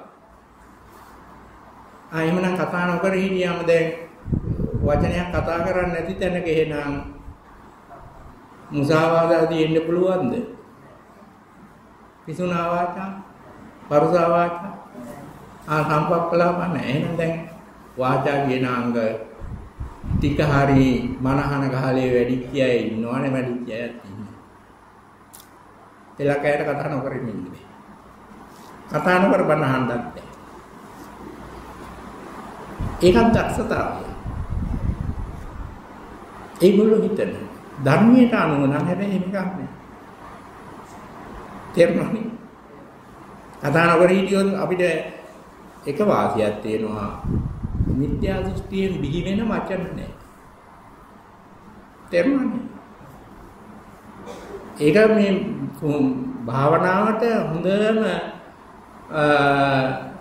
පෙරහුරුවයි සමත භාවනා කරන්න පෙරහුරුවත් ඕකමයි. වචන කතා නොකර ඉන්න පුරුදු වීම ඔයගොල්ලන්ට බැරිම කාරණේ. ඕක ඒක හින්දාම ප්‍රශ්න වෙයි. තේරුණා? ඉස්සෙල්ලා පුරුදු වෙන්න ඕනේ භාවනාව නෙවෙයි. එහෙනම් කතා නොකර තනියෙන් ජීවත් වෙන්න. ඒක ගෙදෙද්දී උනත් පුරුදු කර හැකියි. නෑ ඔයගොල්ලන්ට ඒක පුරුදු කරන්න ටිකක් අපහසු වෙලා දින ටෙලිෆෝන් තියෙනවා කතා කරන්න මිනිතුන් මේ ගස් ගල් එක කතා කරන්නේ නෑ මිනිස්සු. ගෙදර ඉන්නේ බල්ලා එක හරි කතා කරන්න යනවා බෙලක් අය. ඌට ඉතින් නෑ කම් හදාගෙන නංගි මල්ලි පැටියා පුතා ඕන්න සම්පප්පලාප බල්ලේක කතා කරන එක තනි කරන සම්පප්පලාප. තිරසනසතුන්ට කොහොමද එහෙම කතා කරත් ඒ තමන්ගේ දිට්ඨිය මොකක්ද වගේ. තේරුණා නේද? ඉන්න මේ මොකවත් දන්නේ නැති හින්දා මෙහෙම බොරු ටිකක් කරමින් භාවනාව කරලා විතරක් නෙවෙයි ආර්යත් වෙලා. ඒකයි මේකේ පුදුම. සෝවාන්. හැබැයි දිට්ඨිය දන්නේ නැහැ. තේරුණා ඔන්නෝක තමයි මේ මේ තියෙන ප්‍රශ්න ටික. දැන් කොහොම හරි එහෙම නැතුණා ෆෝන් වලින් කතා කරනවා. දැන් ඉස්සර මිනිසුන්ට ওই ප්‍රශ්න විසඳෙන්නේ නැහැ. කවුරුවත් නැත්නම් කතා කරන්නේ නැහැ. එතකොට දැන් පිටරට ඉන්න ළමයින්ට කතා කරන්න බෑනේ නේද? පේන්න ඉන්න බෑ, ඇහෙන්න ඉන්න බෑ. එයා කතා කරන එක ඇහෙන්නේ නැත්නම් කතාවක් නැහැ ඉස්සර මිනිසුන්ගේ. නෑ ඔයගොල්ලන්ට එහෙම සීමාවක් තියෙද? නෑ. එහෙනම් එහෙනම් මිත්‍යා දෘෂ්ටියෙන් කොච්චර වැඩ ගත්තද කතාව වෙනවා. අපි එච්චර උසස්. තේරුණානේ? කොහොම හරි කතා නොකර හිටිය තැන එක වාසියක් තියෙනවා. අර අකුසල් පාක්ෂික වචන නැහැ. එහෙනම් මිත්‍යා දෘෂ්ටියේ අකුසල් පාක්ෂික වචන මිහි කරන එක නැති වෙලා තියෙනවා.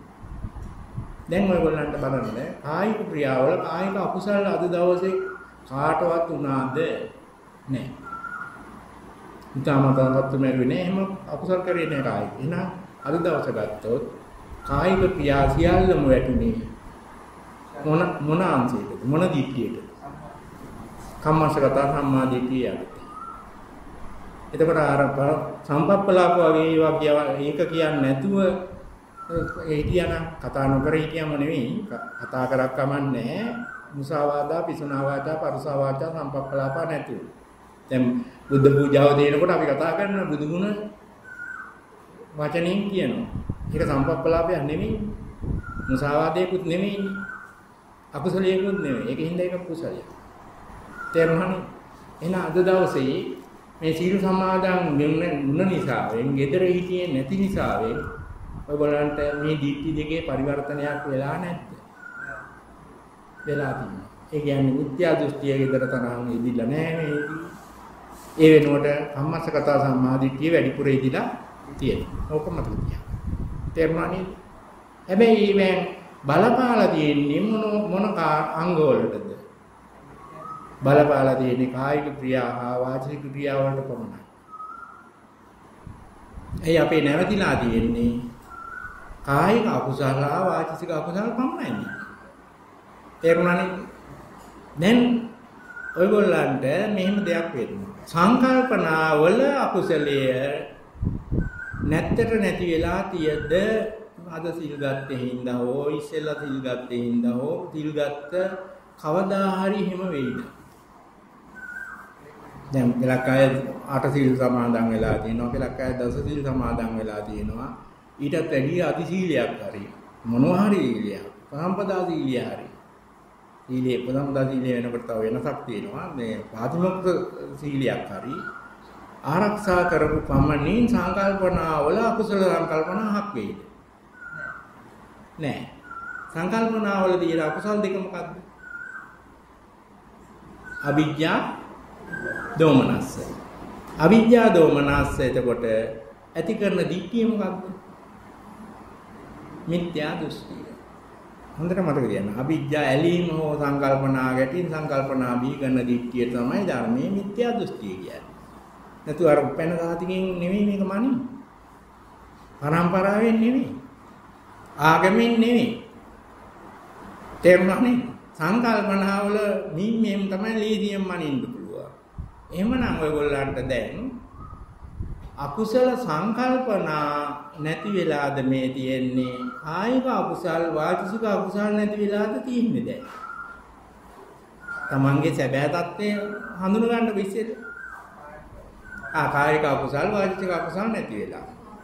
තේරුණා නේද? සංකල්පීය අකුසලය නැති වෙලාද අඩු වෙලා ඇති. නැති වෙනා නැහැ. මොකද ඇදීන් ගැටීම් තියෙනවනේ. තේරුණානේ? අන්න බුදුහාමුදුරුව පෙන්නනවා නිවන් දකින්න ඕන නම් සබ්බ පාපස්සා කරනම් වෙන්නේ මුලින්ම. මේක භාවනාවක් නෙමෙයි. සියලු පව් දුරු කරගන්න. කායික අකුසල් හා වාචික අකුසල් තමයි පව් කියන්නේ ධර්ම. දැන් එහෙමනම් ඔයගොල්ලන්ගේ අද තියෙන මේ වෙලාවේ දිද්ගත්තේ නිසාවෙන් ගෙදෙට්ට වැඩිය සබ්බවවස්සා කරනම් ගුණය ඉහළද පහළද? ඉහළ. ඔන්න ඕකයි. ඕක පහළ. තේරුණානේ? ඕක කවදා සිල් ගැනීම තුන ඔයගොල්ලන්ට ලැබිච්ච ප්‍රතිලාභය. හැබැයි දැන් සබ්බවවස්සා කරනම් ගුණය තිබුණාට අපිට කුසලස්ස උපසම්පදා ගුණය නැහැ. දැන් ඒ ඔය ಗುಣ දෙක ඔය ආර්ය ශ්‍රාංග මාර්ගය ගැන තමයි ඔය ඔය කියන ගාථාවේ තියෙන්නේ. කියන්නේ ඕන දන්න අය තමයි අර ඒ ගාථාව බිත්තිය ගහගෙන රක්ෂණ නියෝජිතයෙක් විදිහට භාවිතා කරන්නේ. ගේ ආරක්ෂා කරන්නේ. තේරුණානේ ඉතින් මොකද ධර්මයේ ඉගෙන ගත්තේ මොකද විභාග පාස් වෙන්නේ ඔය ගාථා පාඩම් කරේ. ඉතින් බයත යනකොට මාරු වෙනවා. බයර් මාරු තේරුණානේ ධර්මයේ ඉතින් විභාග පාස් කරන්නේ නෙවෙයි. නිවන් දකින්න දීපු ධර්මයේ විභාග පාස් කරගන්න භාවිතා කරමුම බයර් මාරු තේරුණානේ දැන් සබ්බමහපාස අකරණං ගුණේ එහෙනම් ලැබෙන්නේ කොහොමද? කායික අකුසල වාචික අකුසල නැති වෙනවා තේරුණානේ එතකොට සබ්බපාපස්ස අකරණං ගුණය තියෙනකොට ආරෂ්ඨාංග මාර්ගයේ අංග කීයක් වැඩිලාද? තුනක් වැඩිලා. මොනවද? වාචා කම්මන්තා. සම්මා වායාම වෙලා එක. වාචා සම්මා වාචා වෙලා සම්මා කම්මන්ත වෙලා සම්මා ආජීව වෙලා. එහෙනම් ඔයගොල්ලන්ගේ දැනටත් ওই ගුණේ තියෙනවා. ආරෂ්ඨාංග මාර්ගයේ අංග තුනක් වැඩිලා. හැබැයි අනික් වැඩ ගිහලා බොරුවට බාර ගන්න එක තමයි කරන වැරද්ද. නිකන් නිකන් ඒක මේ වාසියට ගන්නවා මගේ අනිත් ටික වැඩිද හොඳට විස්තර ඇහුවා ඒක වැඩිනේ අහවල් ගහ යටදී අහවල් භාවනා මධ්‍යස්ථානෙදී අහවල් දේවාලයේදී. ඒව දන්නේ නැතුව ඉන්නේ තේරුණානේ? ධර්මයෙන් දැනගත්තම මෙහෙම කතා නැති වෙනවා ඒ වගේ සම්පප්පලාව නැත්තට නැති වෙනවා. මිත්‍යා දෘෂ්ටි අහක් වෙනවා ධර්මයේ දන්නේ නැත්නම් මිත්‍යා දෘෂ්ටිය වැඩි වෙනවා ඒ වචන වැඩි වෙනවා දැන් කොහොම හරි අපි බලමු දැන් කුසලස්ස උපසම්පදා ගුණය આવොත් මොකද වෙන්නේ? දැන් ඔයගොල්ලෝ ළඟ තියෙනවනේ ගුණයක්. ධර්මානුකූල ගුණයක් තියෙනවා. මොකද්ද? සබ්බපාපස්සා කරන මේ වෙලාවේ. ගෙදර ගියාම මං කියන්නේ තේරුණා නේද? ඕනනම් ඔයගොල්ලන්ට ගෙදර ගියත් ජීවත් වෙන ගමන්ත් ඔය ගුණේ පවත්වාගෙන යන්න පුළුවන් උත්සාහ ගත්තොත් දැනගත්තොත්. දැන් කුසල සුපසම්පදා ගුණයේ ඊගාවට ලබා ගත යුතු ගුණයයි අපි. ඕක ලැබෙනවා නම් දැන් සබ්බවව සකරණං ගුණේ නම් ආරෂ්ඨාංග මාර්ගයේ අංග තුනක් වැඩිලා කුසල සුපසම්පදා ගුණය ලැබෙනවා නම් තව අංග වැඩි වෙන්න ඕනේ වැඩිච්ච. මේ ආරෂ්ඨාංග මාර්ගය ගැන කෙටි පැහැදිලි කිරීම. සබ්බවව සකරණං කියන ගාථාව. මොනවද වැඩින්නේ? කුසල සුපසම්පදා වුණා. අපි බලමු. තව අංග තුනක් වැඩෙනවා.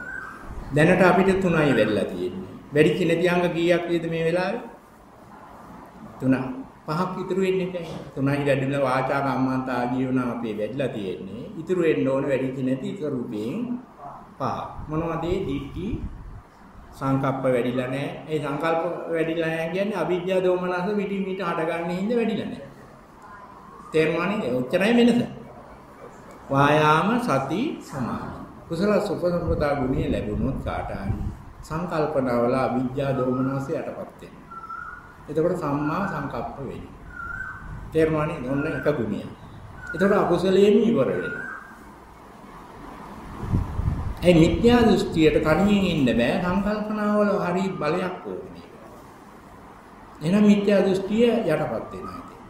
කුසල සුපසම්පදා ගුණය එනකොට මිත්‍යා දෘෂ්ටිය යටපත් වෙනවා. සංකල්පනාවලින් අවිද්‍යා දෝමනස්ස යටපත් වෙනවා. ඒ වගේම හයවෙනි අංගය වන වායාම සම්මා වායාම වෙනවා. තව ලක්ෂණයක් එනවා කුසල සුපසම්පදා වෙනකොට. ආර්ය අෂ්ටාංග මාර්ගයේ අටවෙනි අංගය වන සමාධි සම්මා සමාධි වෙනවා. තේරුණානේ? එහෙනම් කුසල සම්පදා ගුණය ලැබෙනකොට මිත්‍යා දෘෂ්ටියේ යටපත් වෙනවා. සම කම්මසගත සම්මාදිට්ඨිය ඉතුරු වෙනවා. එතකොට සම්මා සංකප්ප ලැබෙනවා. ඒ කියන්නේ අවිජ්ජා දෝමනසය යටපත් වෙනවා. සම්මා වායාමයේ සම්පූර්ණ වෙනවා. සම්මා සමාධිය සම්පූර්ණ වෙනවා. හත්වෙනි අංගය හැබැයි වැඩෙන්නේ නැහැ. මොකද හත්වෙනි අංගය? සතිය. කුසල සම්පදා වුණා කියලා සම්මා සතිය ලැබෙන්නේ නැහැ. දැන් නිවන් දකින්න ඕන නම් කුසල සම්පදා ගුණයේ තියෙන කෙනෙක් කරන්න ඕනේ මොකද්ද? සම්මා සතිය හදන ක්‍රමයක් භාවිතා කරන්න. සම්මා සතිය හදන්න කුසල සම්පදා ගුණය ඕල්ලන්ට ලබන්න පුළුවන් සමත භාවනාවක් දිනු කරලා.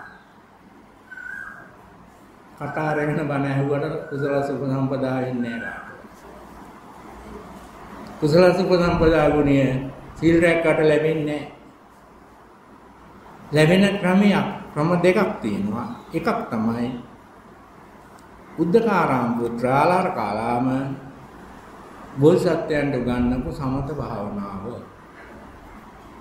දැන් ඔයගොල්ලන්ට බුදුහාමුදුරු දේශනා කරලා තියෙන සමත භාවනා ක්‍රම 40ක්. ඔය 40න් ඕන මේකක් වඩනකොට හොඳින් කෙරුණොත් භාවනාව හොරට කෙරෙන්නේ නැත්නම් බොරු කෙරෙන්නේ නැත්නම් දැනගෙන කරොත් ලැබෙනවා කුසල සම්පදාන. එතකොට ආර්ය ශ්‍රැංග මාර්ගයේ අංග වැඩිලා තියෙනවා ඒ වෙනකොට අංග 6ක්. ඔන්න කුසල සම්පදා ගුණයයි ආර්ය ශ්‍රැංග මාර්ගයේ අංග වැඩිච්ච අංගයි අතර සම්බන්ධය කියලාද. ආයෙ බලමු පැටලෙයිද කියලා. දැන් සම්පපාපස්ස අකරණ ගුණයේ තියෙනකොට ආර්ය ශ්‍රැංග මාර්ගයේ අංග කීයක් වැඩිලා තියෙද? තුනයි. මොනවද? වාචා කම්මන්ත ආදී. ඔයගොල්ලන්ට දැනුත් තියෙනවා. ගෙදෙද්දිත් ඕක තියෙනවා. වෙලක් වෙලාවට. තේරුණා නේද? මිනිස්සෙක් ඉන්න ඔයගොල්ලෝ බොරු කියන්නේ නැත්නම්, කේලම් කියන්නේ නැත්නම්, ඔය වගේ වාචික අකුසල හෝ කායික අකුසල නැත්නම් ජීවිත කාලෙම කරේ නැත්නම් ඒ කාලෙම ඒ සබ්බවපත කරනන් ගුණේ තියෙනවා. තේරුණා නේද? ඒකට තමයි දැනගන්න ඕනේ ඒක තිබිච්ච තැනුයි නැති තැනුයි මොනවද කියලා වෙන් කරගන්න. තේරුණා නේද? කුසල සුපදා ගුණේ එනකොට ආරෂ්ඨාංග මාර්ගයේ තව වැඩි ත්‍යාංග අර වාචා කම්මන්තාජී වලට එකතු වෙනවා වායාම හයවෙනි අංගය සමාධි අටවෙනි අංගය දෙවෙනි එක සංකප්ප කියන එක සම්මා සංකප්ප වෙනවා තේරුණානේ දැන් ආර කුසල සුපසම්පදා ගුණයේ තියෙන වෙලාවේ ආරෂ්ඨාංග මාර්ගයේ වැඩිච්ච නැති අංග දෙකක් ඉතුරුයි. ඒ දෙක මොනවද? ඒ දෙක තමයි හත්වෙනි අංගය වන සතිය. පළවෙනි අංගය වන දිට්ඨිය. මෙතන දිට්ඨිය වලට උනේ මාරුවා. කුසල සුපසම්පදා වෙනකොට කාමාවචර මට්ටමේ තියෙන සම්මා දිට්ඨිය මාරු වෙනවා රූපාවචරයට. ඔච්චරයි වෙන්නේ. තේරුණානේ? දැන් ආලාර කාලාම බෝධිසත්වයන්ට උගන්වපු එක. ඒතර රූපාවචරට මාරුණා කියලා ඒ සම්මාදිට්ඨියනෝ සංසාරයක් හදනවා. ඒ සංසාරයක් හදන බව තේරුණු හින්දා තමයි බෝධිසත්වය මේක නිවන නෙවෙයි කිව්වේ. අර ගොල්ලන්ට නිවන වුණා ඒක. තේරුණානේ? එහෙනම් දැන් වෙනත් හුඟක් ආගම් වල නිවන කියලා සංසාර විමුක්තිය කියලා කියන්නේ කුසල සුපසම්පදා ගුණයට. බුදුහාමුදුරුවෝ පෙන්වන ආර්ය ශ්‍රාංග මාර්ගයේ අංග හයක් වැඩිච්ච තැනට. තේරුණානේ? බුදුහාමුදුරුවෝ නිවන කියන්නේ ආර්ය ශ්‍රාංග මාර්ගයේ අංග 8ම වැඩිච්ච තැනට. දෙකේ වෙනස තේරුණාද මේ වෙනසක් තියෙනවද කියලා? දැන් සමත භාවනාවෙන් එහෙනම් ඊතුරු අංග දෙක වඩන්න බෑ. ඒකින්ද බුදුහාමුදුරුවෝ පෙන්නනවා කුසල උපසම්පදා ගුණයේ තියෙන ශ්‍රාවකයා ඊගාවට ලබා ගන්න ඕනේ ගුණය සචිත්ත පරියෝධමන. තේරුණානේ? සචිත්ත පරියෝධමන කියන එක ලැබෙන්නේ ওই සතර හතිපට්ඨානෙ වැඩිීමේ. එතකොට සම්මා සතිය ලැබෙනවා. ඒක වැඩුණොත් සචිත්ත පරියෝධමන ගුණයේ තියෙන තැන දිට්ඨිය මාරු වෙනවා. කම්මසගතා සම්මාදිට්ඨිය ලෝකෝත්තර සම්මාදිට්ඨිය. කාන්නේකින් තමයි සෝවාන් වෙන්නේ ආර්ය වෙන්නේ. දැන් ඉස්සෙල්ලට වැඩි තේරුණාද අපි මේ ආර්ය ශ්‍රාංග මාර්ගයේ වඩනවා කියන එකට සම්පූර්ණ තේරෙනවා කියන එක නෙමෙයි මම බලාපොරොත්තු වෙන්නේ. දැන් මෙන්න මෙහෙම සිද්ධියක් මේක කියන එකවත්. දැන් නම් මොකද අපිට මල් පූජා කරලා මේක වැඩුණා කියලා කියන අය ඉන්නවා, වැඩිච්ච අයත් ඉන්නවා, දන් දීලා වැඩිච්ච අය ඉන්නවා. දැන් එහෙම වෙන්නේ නැහැ. තේරුණා නේද? දැන් ආමිෂ පින්කමක් කරන වෙලාවක ඔයගොල්ලන්ට තියෙන එකම වාසිය සබ්බවපස්සා කරනන් ගුණයේ තියෙන වාසිය තමයි. තේරුණානේ? ආමිෂ පින්කමකින් කුසල සුඛ සම්පදා ගුණය ගන්න බෑ. නමුත් දැන් පොත්වල පරිවර්තන තියෙන්න පුළුවන් ගාථාව මේ ගාථාවම කුසල සුඛ සම්පදා ගුණය ලැබෙන්නේ කුසල් වැඩියෙන් කිරීමෙන්. එහෙම එකක් නෙමෙයි. කුසල සුඛ සම්පදා ගුණය ලැබෙන්නේ අකුසලයේ නැති කිරීම. මේක දෙකක්. කුසල් වැඩියෙන් කරා කියලා අකුසලේ නැති වෙන්නේ නැහැ. තේරුණානේ? දැන් ඔන්න අකුසලයේ තියෙන තැන සංකල්පනාවල ස්වરૂපය ආලාර කාලම් දන්න. බෝසත්යන්ට ඉගැන්නේ. අකුසලයේ තියෙන හැම තැනම සංකල්පනාවල එක්ක අවිජ්ජා ඇලීම් සහගත සංකල්පනා දිනව නැත්නම් ව්‍යාපාද ගැටීම් සංකල්පනා තියෙනවා. තේරුණානේ? එතකොට කායික අකුසල් වාචසික අකුසල් කරෙන්නේ නැති මේ වගේ වෙලාවක ඔයගොල්ලන්ගේ ඇලීම් ගැටීම් තියෙනවා. ඇලීම අවිජ්ජාමයි ධර්මානුකූලව විස්තර කරන්නේ. ගැටීම හැබැයි ව්‍යාපාදයේ කියලා කියන්නේ නැහැ දැන්. දැන් ඔයගොල්ලන්ට සංකල්පනාවල ගැටීමක් තියෙනවා. ඒක විවිධ විදියට එනවා දැන් ඔය හින්දේනවා. බණ ඉවර වෙන්නේ නැද්ද? පහ කියන කාලය ලැබෙන්නේ නැද්ද? සිල් පාරණ වෙන්නේ නැද්ද? කොහොම හිතන එක සමහර විට ගැටීමක් වෙන්න පුළුවන්. හැම වෙලෙම නෙමෙයි. සංකල්පීය ගැටීම.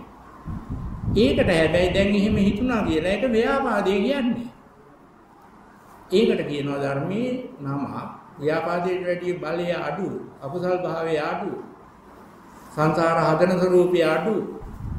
ඒකට කියනවා දෝමනස්සේ. එහෙනම් සබ්බෝපස්ස අකරණම් ගුණයේ තියෙන හැම වෙලේම අපිට සංකල්පනාව අකුසල් දෙක හඳුන්වන්නේ ධර්මයේ අවිජ්ජා දෝමනස්ස. තේරුණානේ? ඒක එතකොට මේ අපේ දැන් තියෙන මිත්‍යා දෘෂ්ටියෙන් ඇති කරන්න පුළුවන් එක්ක අවිජ්ජා නැත්නම් දෝමනස්ස. තේරුණානේ?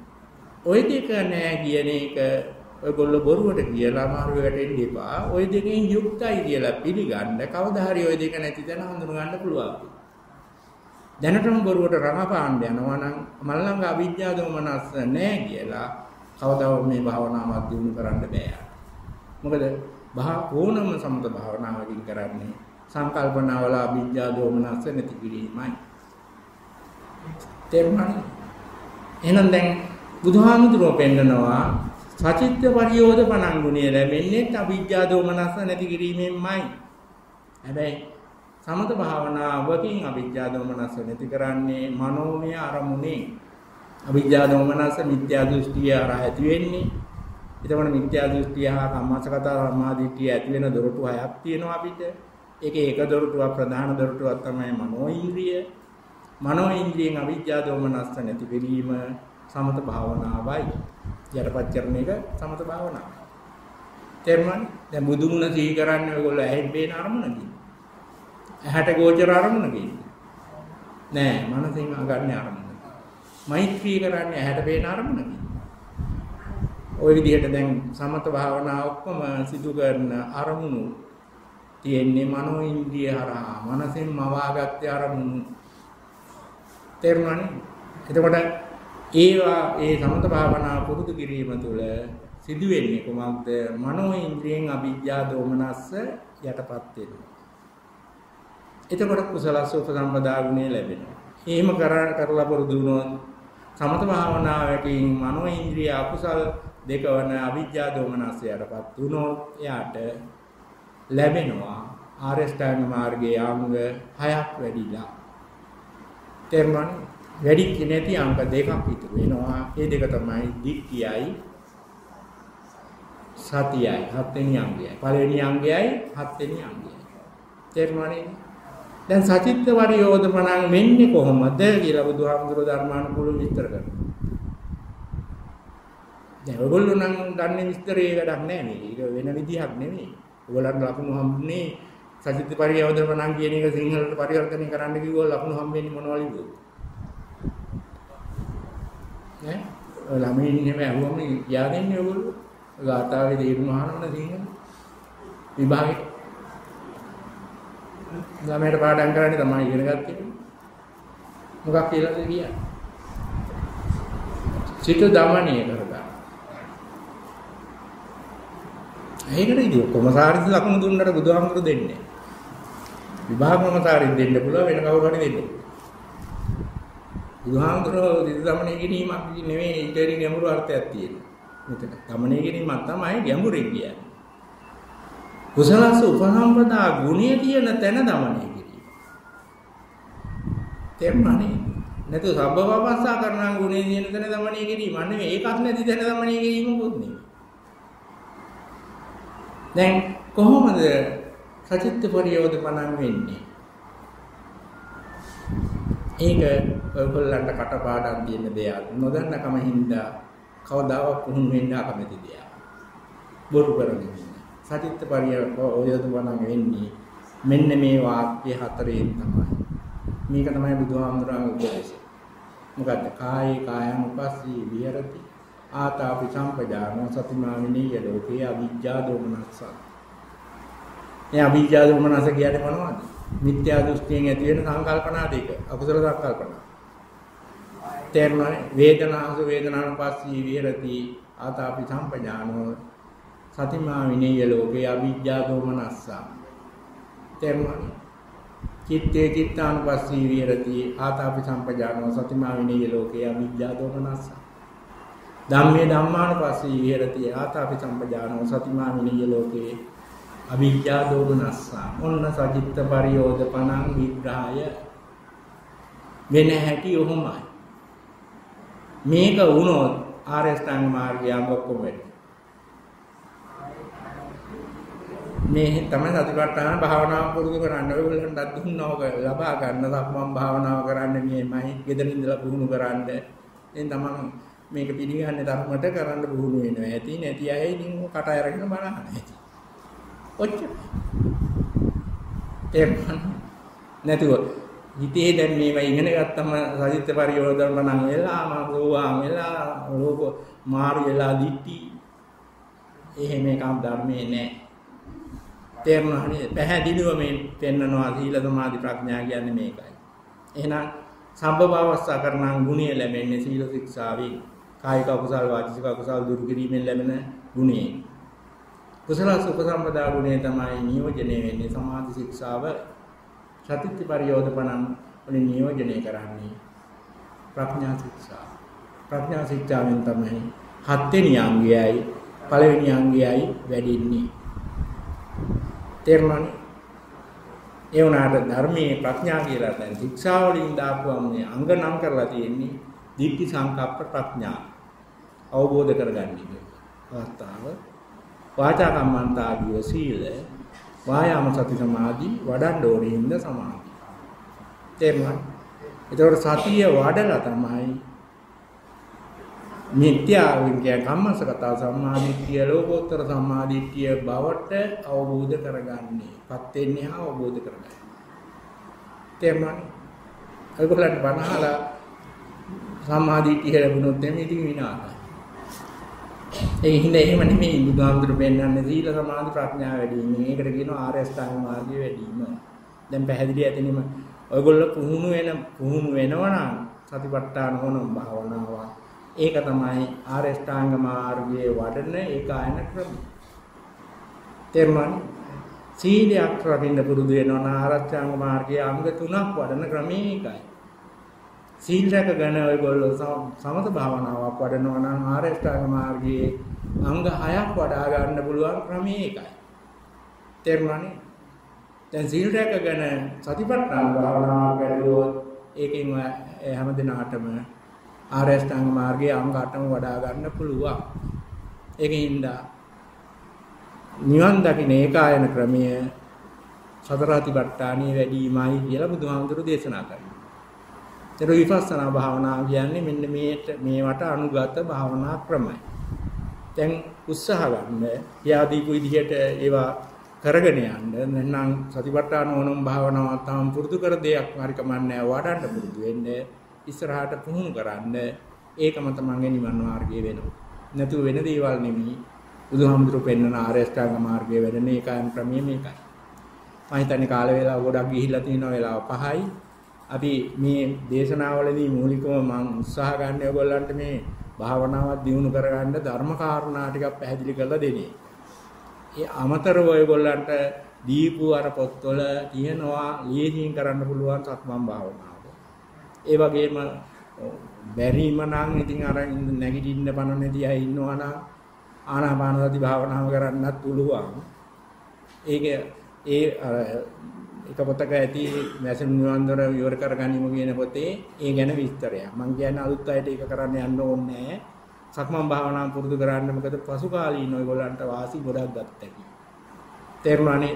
නමුත් කාලයක් තිස්සේ ඉඳගෙන භාවනා කරලා පුරුදු අය අර පොතේ තියෙන විදිහට තමන්ගේ අඩුපාඩුකම් හදාගන්න උත්සාහ දැන් අපි ඊගාව දේශනාවලදී පැහැදිලි කරන්න බලාපොරොත්තු වෙනවා මෙහෙම අපිට කොච්චර උත්සාහ ගත්තා මේ ආරෂ්ඨාංග මාර්ගයේ වඩන ක්‍රමය දැන් ධර්මානුකූලව ඉගෙන ගත්තට වඩන්න ගියාම බෑ.